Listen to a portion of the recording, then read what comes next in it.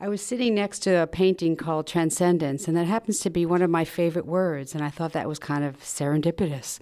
Um, because I think poets transcend or go beyond what we see ordinarily, what normally everybody would see. We kind of go at a deeper level. And um, I was reading Robert Firestone's uh, website, and if you haven't been there, I suggest you go.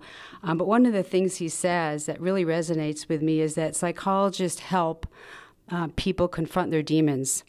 And when you confront your demons, you're able to uncover your deepest feelings. And I think poets do that too. So my husband was a wanted to be a painter. He wanted to be an artist as a child.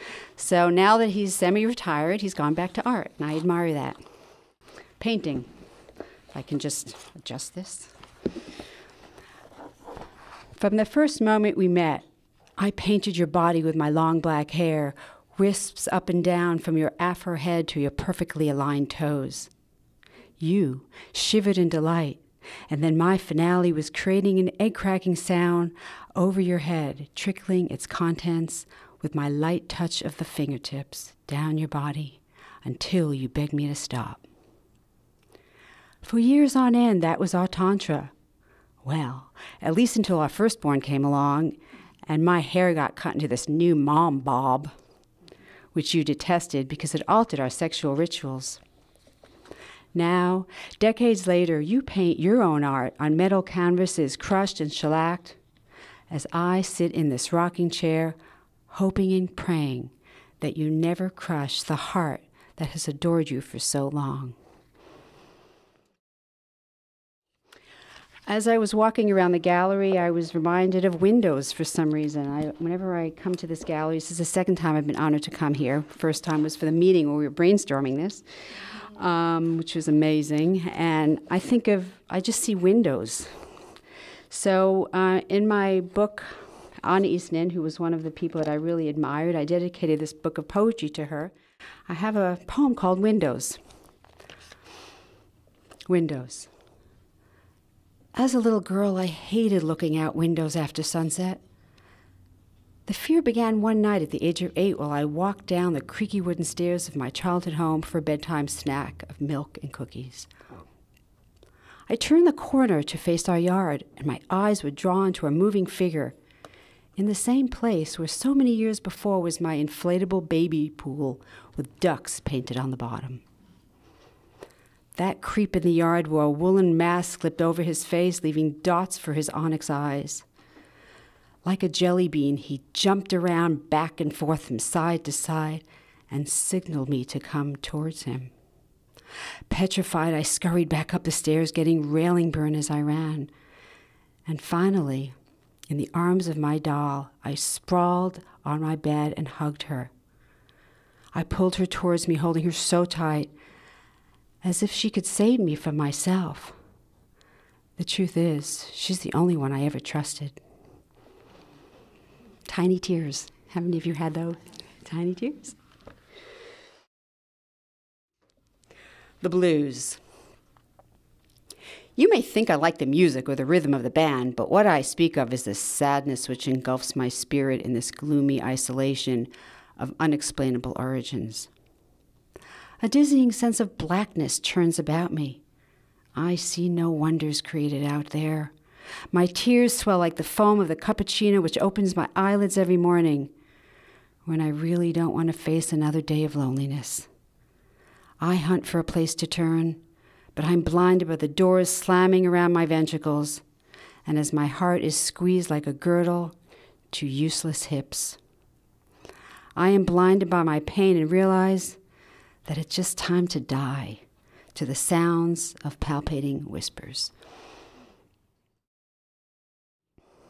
Okay, on to orgasm. Switch. Since everybody wants to hear that. When I gave my first reading, because this book was launched on Valentine's Day this year, and so my first reading, um, I'm not going to mention any names, but I had a, she knows who I'm talking about. I had red tabs and purple tabs, and the red tabs are like the really dirty ones, and the purple tabs are like, nah, PG. So she kept saying, dirty, dirty, red, red. So I'm going to read a red one and she knows who she is. Merci beaucoup, chérie. Orgasm. You have never really told me which ones are the best, or which ones you would rather do without. Writhing, restless, and begging for more, you arrive just as eagerly on lonely nights as you do on spontaneous love happenings. You possess me and borrow from me until we get interrupted by foreign night sounds or annoying phone calls which force us to stop and start all over again. Sometimes I think that you think life is centered around you, like the line of a zodiac always reaching for the pedestal, or the joystick which brings you towards me so warm, so firm, so friendly, in the darkness which hides all those surgical flaws and yellowing undies, stolen by time and sent to me on the night by you, the one I love, and want to spasm with over and over all night long. Thinking of you or anything connected with you creates joyous contractions in places only saved for you. Okay, this one, Great Minds Think Alike, this is dedicated to the veterans. This is for Veterans Day. Um, this was called Why I Hate Guns, and it was published um, in River's Edge this week. Um, it's also dedicated to my nephew, who's a ranger. Why I Hate Guns. Yesterday, across my television screen, far flung pellets and bodies launched like rockets into abandoned fields of hidden soldiers as body parts sprinkle midnight quarters. Baby faces on adult bodies lurk in distant places, far from confused brides laden with blossoming bellies, and cryptic kids screaming in parks. Decorated with unknown futures as holsters hang loose, weighed down by hollow revolvers, beside stomach push against sandy fields.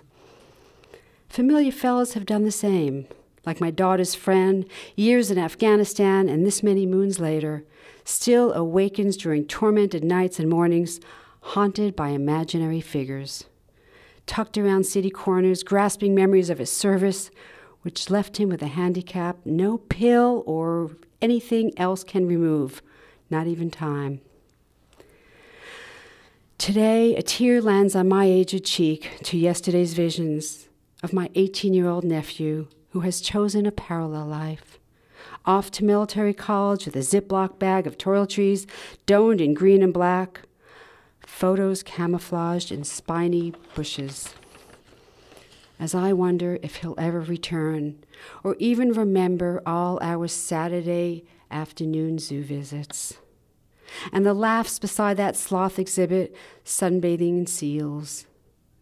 Those memories all seem so trivial now as he clicks his heels and loads that revolver to the snap of a politician's whim, who chooses death over life in the name of false freedom.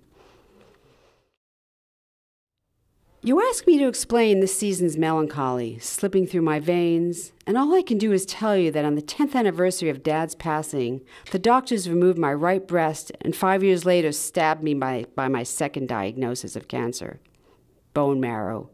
No cure, just treatment. The holiday lights sharpened. Passing along dripping candles from the menorah, I step onto this African soil with dreams of leaving my cells buried there, merging with the history of African fights for survival, even as I know there's no way, except through the magical dreams, to leave behind what haunts me, the healthy bones that Dad had once bestowed. Okay, I woke up. I woke up to a dream that you were in a place you should never have been. And I, because of it, I hurt myself in a way that I shouldn't have.